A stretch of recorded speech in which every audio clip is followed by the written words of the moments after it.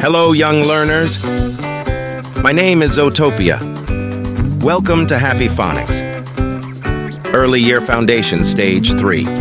Today we're going to uncover a secret about letters, and it's all about the silent letter H. Are you ready for the magic? Let's begin. You see, sometimes the letter H can be sneaky. It hides in words and we don't hear its sound. But how do we know when H is silent? Here's the trick.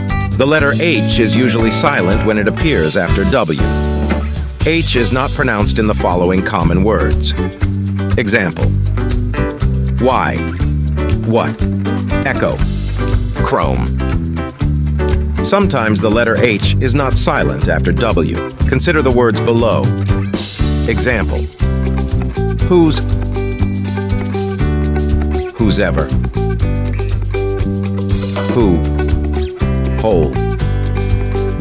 H is mute at the beginning of many words. Remember to use the article an with unvoiced H. Example. Hour. Honest.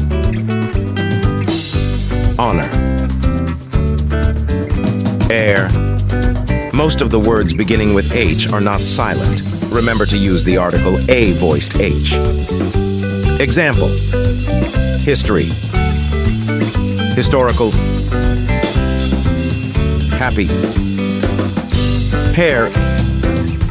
The H is silent. We don't hear it. It's like a secret agent hiding in the word. You're now a detective of silent H. Keep exploring words, and you'll find more silent H surprises. Don't forget to cross out the one picture that doesn't have a begin to sound, H. Like duck. Enjoy your word adventure and happy learning. Until next time. Don't forget the importance of sign language. It's a bridge to communication, opening doors of understanding and inclusion for those who rely on it.